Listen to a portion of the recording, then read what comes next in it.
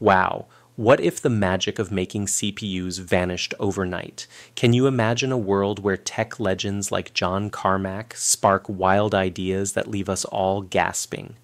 Picture Z Day, the final day when no new chips are made, and our trusty old computers step into the spotlight. When modern 5 nanometer chips fade fast, older 250 nanometer CPUs hold strong for decades. Cloud computers begin to break and prices soar, making powerful Xeon chips worth more than gold. Many people cool and undervolt their processors to slow time and preserve their machines. Even everyday gadgets and smartphones suffer as battery life and circuits give in to age. In this strange tech twist, experts say our old computers hold charm like vintage art. People everywhere learn to treasure solid chips and careful upgrades, turning a crisis into a chance to discover the beauty in old technology. Hit follow for more.